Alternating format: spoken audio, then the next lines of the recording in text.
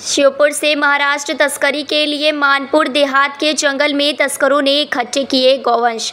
Police को मौके पर देख जंगल में भागे तस्कर। ढाई लाख कीमती तेईस बैल बछड़ों को पुलिस ने तस्करों के चुंगल से मुक्त कराकर गौशाला को किया सुपुर्द। मामले में पुलिस ने पाँच आरोपियों पर एफआईआर की दर्ज। पुलिस अधीक्षक आलोक कुमार ने बताया कि दिनांक 6-7 मई की रात्रि गश्त के दौरान मुखबिर द्वारा पुलिस को सूचना दी गई कि शंकर बंजारा निवासी शंकरपुर का टपरा अपने साथियों के साथ मिलकर मानपुर, ढोढर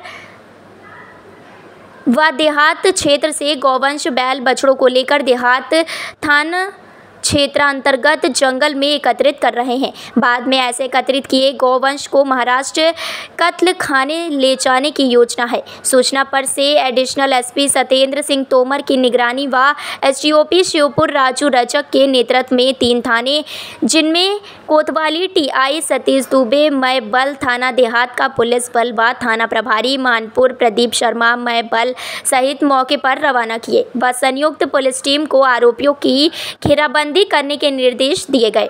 उक्त टीम द्वारा, मुखबिर द्वारा बताए गए घटनास्थल पर दबिश दी। पुलिस की अचानक उपस्थिति देखकर आरोपी सुल्तान बंजारा अपने साथियों, अंधेरे और जंगल की आड़ लेकर मौके से फरार हो गया। एक बड़ी कार्रवाई की है। गौ तस्करी करते हुए कितने लोग पकड़े हैं और कितने का ये गौ तस्कर पकड़ा गया है?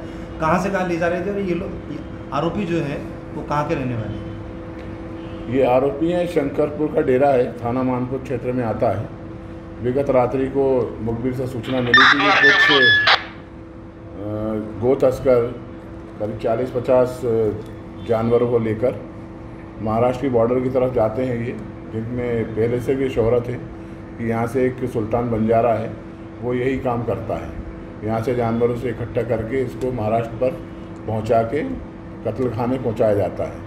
इस सूचना पर मानपुर पुलिस और देहात पुलिस के संयुक्त उसमें हम लोगों ने दबिश पार्टी ऑर्गेनाइज करी और वहाँ दबिश दी तो वहाँ पर हमको तेईस जानवर जो बेल थे, छोटी नई उम्र के थे, वो मिले बंधे हुए और जो आरोपी थे वो वहाँ से पुलिस को देख के भाग गए हैं और उनको हम लोगों ने जब्त करके पशु क्रूरता अधिनियम और पशु गोवध प्रतिषेध अधिनियम के अंतर्गत उनके खिलाफ कार्रवाई की गई है। इसमें पाँच आरोपियों के खिलाफ कार्रवाई की है और जब इनको पकड़ लिया जाएगा तो और भी अन्य साथियों का इसमें पता चलेगा। अभी इनको जो हम लोगों ने जब्त किए हैं पशु उनको अभी हमने गौशाला में रखा है। कितनी कीमत बताई जा रही है लगभग इस गौवंश की? गोवंश की कीमत करीब डेढ़ पौने दो लाख रुपये बताई जा रही है।